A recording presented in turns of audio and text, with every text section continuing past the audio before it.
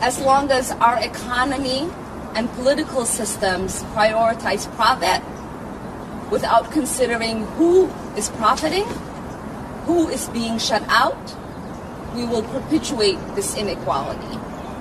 So we cannot stop at criminal justice system.